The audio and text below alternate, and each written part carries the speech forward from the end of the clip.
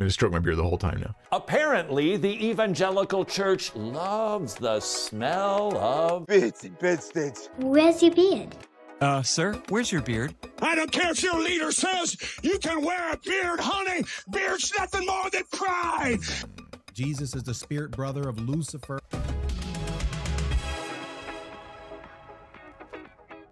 This is Michael Beverly. Welcome to my channel. I came to the conclusion, obviously, as you can see, that a man should not shave his face. It's commanded in the Old Testament. Michael Beverly here. Welcome to my channel. I thought we'd have a little bit of fun with this video and rate the beards of the believers and non-believer channels. Who has got the nicest beard on YouTube? All right, so let's get to it. We're going to count down from 10 to 1 and we're going to alternate between the believers and the non-believers. And please leave a comment if you think I missed somebody or if you don't like my choices. But more importantly, guys, we're going to talk about the differences between Mormonism and Christianity. Okay, coming in at number 10 is Allen Parr. This was a close call with his buddy Mike Winger. I put Mike Winger in the introduction, gave the 10 spot to Allen Parr. Looks like he's got letting a little bit of hair grow. I hope he continues to let it grow out because he looks a lot more handsome and, and authoritative. I don't agree with the stuff he says, but he's got over a million followers and he's worth checking out if you're in this space. Um, I want all y'all to meet me on this mountain, and you guys are going to call on your false God, and I'll call on my God, and we're going to see whose God is going to win. So they that's another that's another random aside, and I apologize, but it was funny. Like I had a I have my certificate, my certificate for in Christian ministries. Okay, coming in at number 10 on the non-believer side is David McDonald. He is the host of Deep Drinks podcast. This is a podcast where things are discussed relating to religion and philosophy and human rights. Lots of interesting guests on his podcast, and I suggest you check it out why is the Illuminati, who's supposed to be a secret society, telling their celebrity cohorts to go out and use symbolism to show the world that they're part of the Illuminati? Like, this makes no sense. It makes perfect sense. I'm going to uh, respond to his deconversion story here. Okay, coming in at number nine on the believer side is Braxton Hunter of Trinity Radio. He's the guy with the famous 10 questions for atheists video. Worldview discussions space. Fellow atheists can be so combative. And when atheists and Christians come up with lists of questions that they don't think the other side can answer, those questions usually aren't genuine. In reality, ditching religion entirely allows you to more thoughtfully examine issues that were dogmatic or ideological in nature. Coming in at number nine on the non-believer side is Viced Rhino. His channel is started as a response to pseudoscience, but lately he has been doing a lot of response videos to apologists and talking about Christianity, so he made my list. Hedging with the mysterious ways defense, I see, so that even if you can't come up with a reasonable answer, it comes down to God's ways are above our ways. Never you mind that he could have made us with the capability of understanding why he does things the way he does and chose not to. Rejection and betrayal and humiliation and abuse and pain and torture and death, failure, and, and Okay, coming in at number eight on the believer side is Friar Mike Schmitz of Ascension Presents. And now he doesn't always have a beard. I don't know if he gave up shaving for Lent, but he looks good with a beard. Maybe he'll keep growing it. We'll see. As a sidebar, I think Trent Horn ought to pay attention. It's commanded in the Old Testament.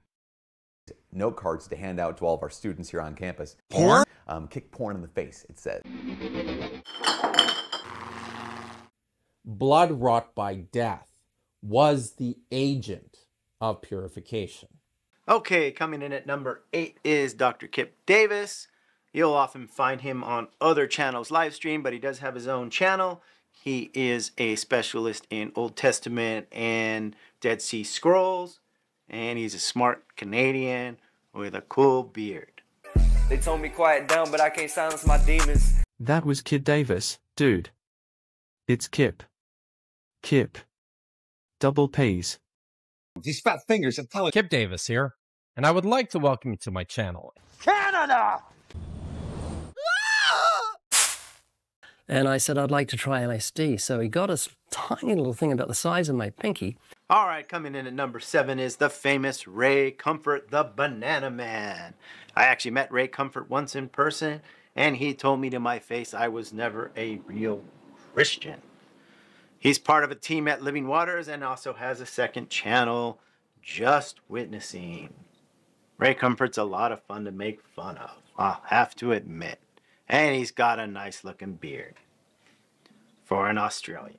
He's a Kiwi, Udrongo. White dog walking about eight inches above the ground, floating in front of the television. I said, Look, there's my dog. And it really is slavery. It's not like they use these terms because they're flavor flavorful, or it's not like this is just the way that they used to speak. It's like, no, this is real slavery. At number seven on the non believer side is Rationality Rules, a channel that debunks and refutes predominantly religious and supernatural claims. And he's got an awesome beard.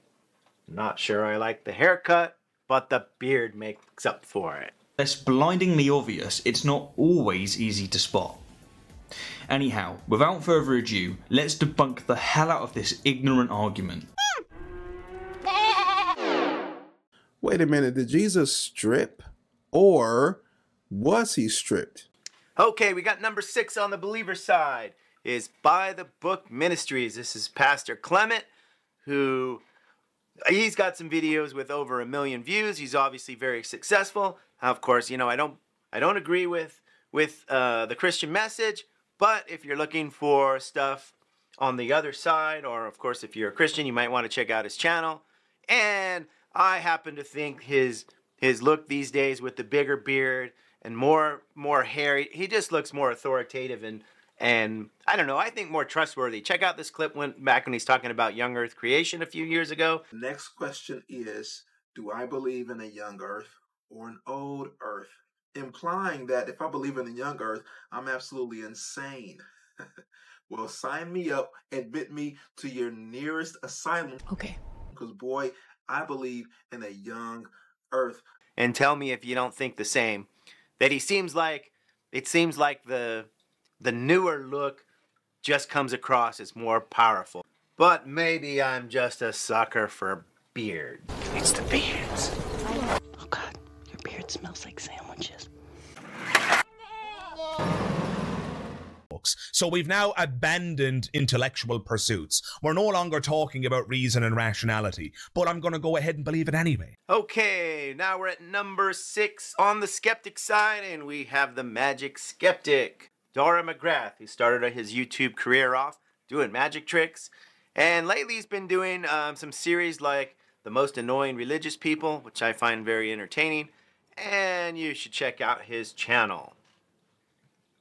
Absolutely, absolutely. That's the plan. Stupid magic tricks. Right. Let, let, me, let me show you something interesting, okay? Okay. I have here a deck of cards. It's a it's a strange deck of cards. I don't mean that it's a trick pack, but there is something kind of unique about it. Okay? And beard. But an eight ball is a lot of cocaine. Now, coming in on number five on the believer side is the very entertaining Todd White. Now, I, I, I mean, I love his like Rastafarian look, his hair, his beard. He seems like a cool guy. Now, the stuff he talks about and teaches, I think, are totally ridiculous, but nevertheless, he's very entertaining. I can see why he's a successful pastor. I came home that night after I smoked two eight balls of crack cocaine. Funny thing, coke. Coke? And rail means rail. I was the black sheep, the black cloud, the one labeled the one that will never make it. People in my school find out that I'm a, that I'm a preacher. They're like, that's not, not the Todd that I know. Hey everybody, I'm Dan McClellan. I'm a scholar of the Bible and religion, and the fit for this video is mid-90s Nickelodeon. All right, we're at number five on the skeptic non-believer side, and we have teacher and Bible scholar and expert Dan McClellan. Now, I, I highly recommend his channel, whether you're a believer or a skeptic or anywhere in between, because he really knows his stuff and he breaks down where people make just ridiculous mistakes in interpreting the text. Hey everybody, Dan McClellan here. Where's you been? Welcome to my YouTube channel, which is still very much under construction. And we can handle this shit like gentlemen. Or we can get into some gangster shit. Claudius poisoned mushrooms. So she was a uh, husband killer to get her son on the throne, and then she wanted to rule through Nero. All right, we're at number four. And on the believer side, we have Jimmy Akin. Now, I, I don't know that much about him. I, he was speaking at a Catholic conference, so I don't, I'm assuming that means he's a Catholic, but I'm not sure. To me, he looks like a country hillbilly from the South. He seems like the kind of guy you'd go shooting with, and you'd have some hunting dogs in the back of the truck. I spent a little time in Texas. Sorry about the accent. It comes naturally when I see guys in cowboy hats. Anyways, all that to be said, he's got a nice beard. So you see what this means. Jesus himself was a serial accomplice to mass animal hunts. But basically, what they're doing is the same thing that a thousand other channels do, talking about how they think they've unlocked the secret meaning of their favorite movie, uh, what the author really intended. It's really kind of silly. All right, number four on the skeptic non-believer side, we have Prophet of Zod. Now, this is this is one of the channels that originally got me interested in creating a podcast, you know, YouTube channel of my own. Um, and, you know, he wouldn't be on this list if he hadn't decided a few months back to switch from his old style, where his face is just a bunch of fuzz, into FaceTime, which I think was a good decision. He's a super handsome man, and of course, a lot of that handsomeness comes to the nice, not only the beard, but the color of the beard and just the way it frames the face. So, anyways, um, if you've never seen his channel, I highly recommend it. Whether you're a believer, or unbeliever, somewhere in the middle, you will get some. You will you will be entertained and inter- and informed. So check it out. A former Christian school principal, trying to learn more about the world around him. Then an accidental overdose of actual knowledge interacts with his preconceptions, and a startling metamorphosis occurs.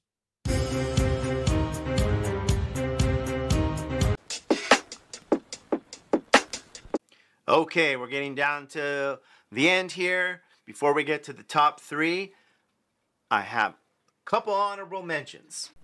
Don't mention it. I can't help myself. You really need therapy. Not me. Okay, The Satan's Guide to the Bible came out just a few months back, and it's got well over a million views. I highly recommend it. Now, that isn't a big built out channel, it's got like one video. But, anyways, the whoever designed the character for Satan did a very good job. I rebuke you, Satan. Thanks, Jen. Noted. Or Paul from Apologia, which now he has a regular, very active channel. In fact, one of the most popular skeptic, atheist, you know, non believer, um, counter apologetics channel on YouTube. Even worse, all of humanity is destined for eternal conscious torment. But a few can win a free pass if they get lucky in a game of hide and seek against an invisible being. And he seems like a super nice guy, and I can't believe you haven't noticed his channel yet. But if you haven't, get over there and subscribe to Paul right away. All right, let's get back to the countdown. We are moving on to number three. Uh, to illustrate what I'm trying to say, I'd like to give you a quote from a, a leading pastor. It's commanded in the Old Testament. They love to march these people out so that they can say, look, look, here are some Christians who are not wide eyed idiots. Coming in at number three on the believer side is the very charismatic teacher, preacher, Voddie Baucham. You can find his sermons all over YouTube, but he does also appear on his own channel, which is the Grace Family Baptist Church.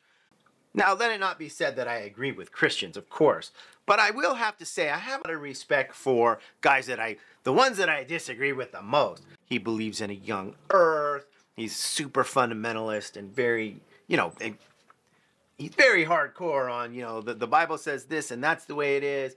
I mean, he's preaching at answers in Genesis. So I get a begrudgingly respect. If if you're a hardcore fundamentalist, we do have something in, in common, even though I'm an atheist, and that is we respect the fact that if you're gonna believe in the Bible, you might as well believe in the Bible. This is why it matters that Jesus did not sin. A recent worldview survey found that some 45% of professing Christian teenagers believe that Jesus sinned during his earthly ministry. I'm always excited to come to the ark.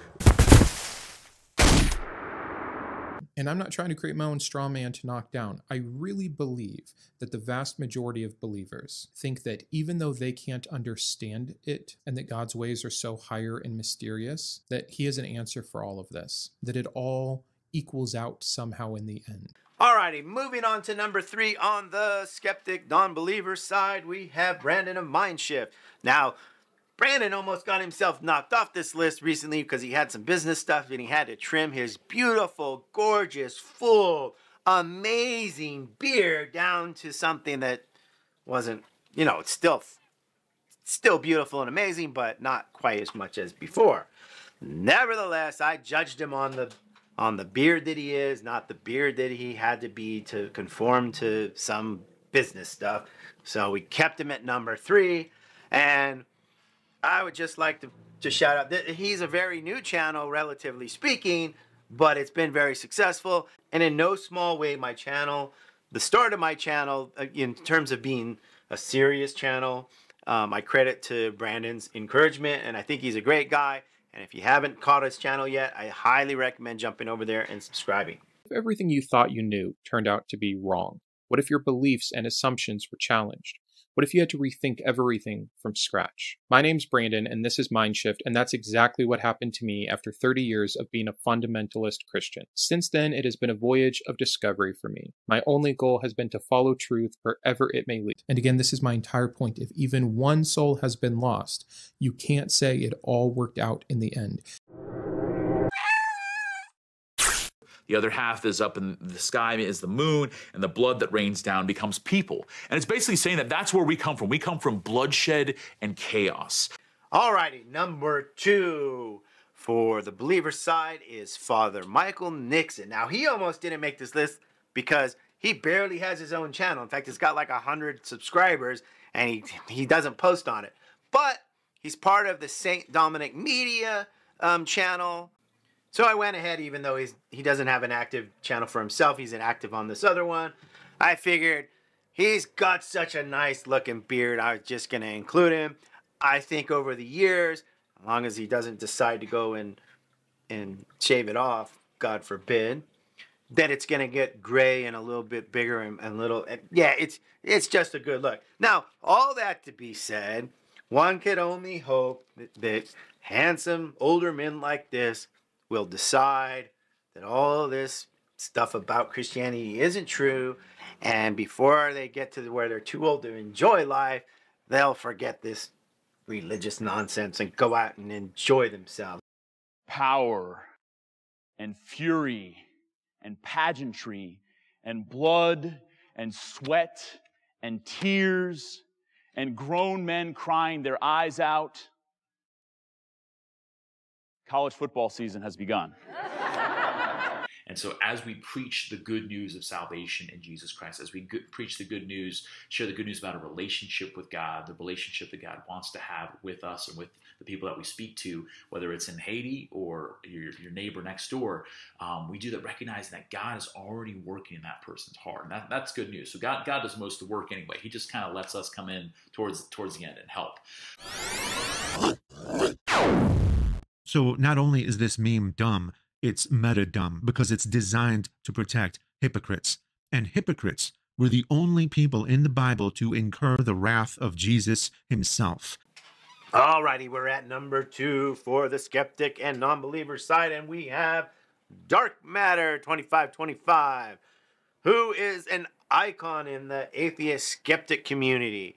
Now, he only qualified for this because he does some shorts and occasionally he does some videos of himself and not, you know, anyone that knows him and knows his channel knows it's about cartoons where he does um, comedic stuff and satire and oh man, it's good. Like he's a great writer, and his stuff is amazing.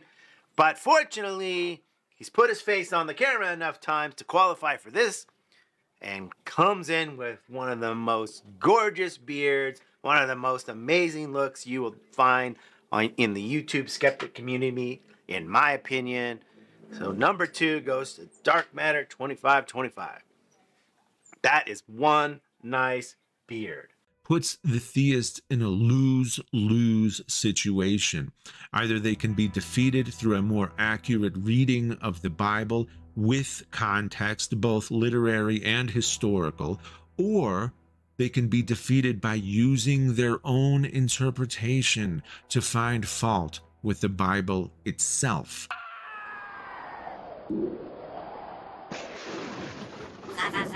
She's fine. God Adam is gonna like you. As he makes an accusation against Pastor James, that it's actually Leighton who's doing that with the text. He's literally reading his presuppositions and traditions into the text and going so far as literally to add words to the text as he's quoting it. Okay, we've hit the number one top spot, and on the Christian believer side is Jeff Durbin of Apologia Studios. Now, this guy has got one amazing beard. He looks strong, he looks smart. The beard just the beard just sells what he's saying. Now, I don't agree with him obviously.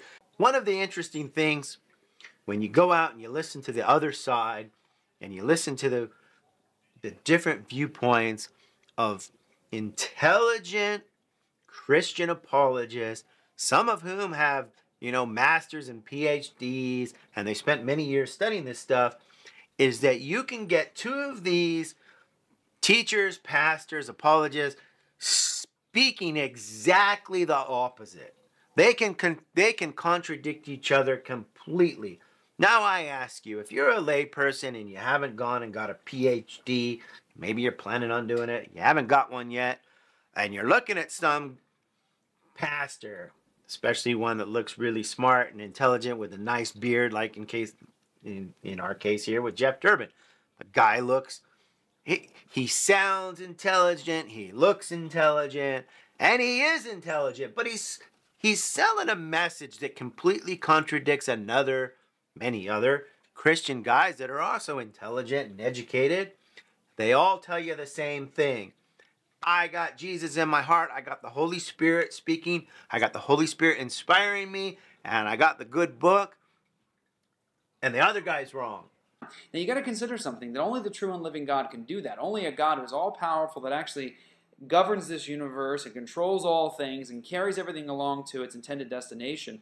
Only a God like that could actually make that sort of a claim. Now, listen, religions do try to tell the future, and when they fail, they keep pushing along and moving along.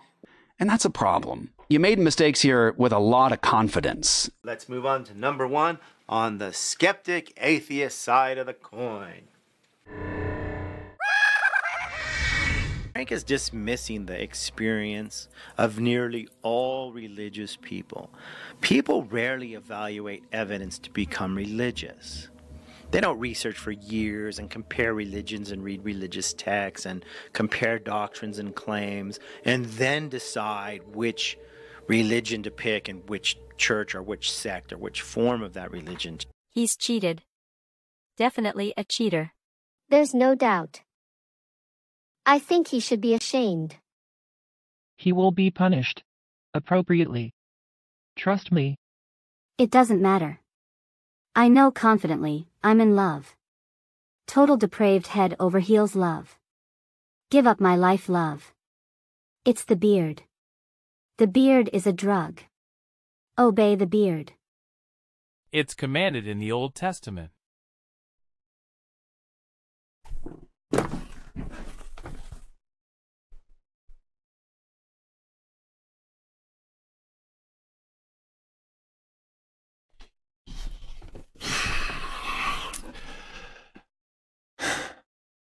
Thank you, Jesus. God told me to do this thing.